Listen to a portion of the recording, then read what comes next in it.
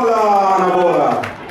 Vi har en, ja, har liten sjukskrivning ikväll om ni som är igår eller har sett oss förut i, i vår som var en som heter Söt tjej som har stått här med Micke och sjungit. Men det har blivit lite komplikationer i form av matintag. Mat är farligt, dryck är mycket bättre tydligen. Så det är den som dricker.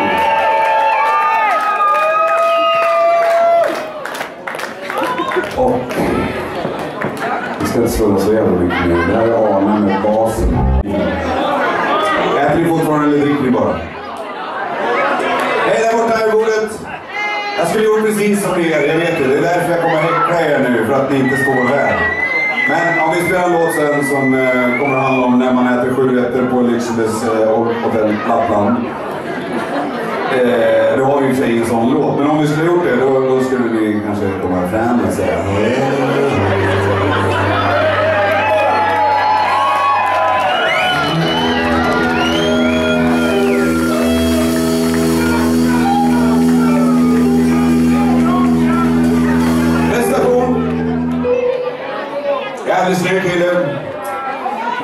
Förbannat bra på blåsjobb och ett stadigt grepp om sin järnpryl. Det här är Andreas Gidlund på saxofon.